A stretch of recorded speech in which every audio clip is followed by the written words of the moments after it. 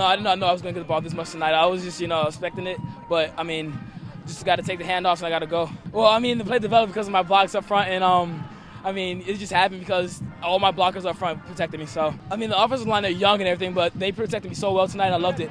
I respect it so much. Playing a playoff team that beat us last year in the playoff, it's going to go down to the wire. As long as it's tied, we're still in the game. Just keep battling, and we'll make something happen. Sure enough, Bama breaks the big run to get us up 20 to 13. Durns is super strong. Our kids have done a great job in the weight room. I mean, if you don't wrap him up, he can break tackles because he's so strong. He doesn't look very strong because he's so little, but he's one of the strongest kids on our team. Obviously, the first half we did a nice job running the ball, and we got to understand our young linemen got to understand that the defenses are going to tighten up and come even harder at the start of the second half. And our kids haven't figured that out yet. Our young linemen have got to understand they got to give an even greater effort to start the second half.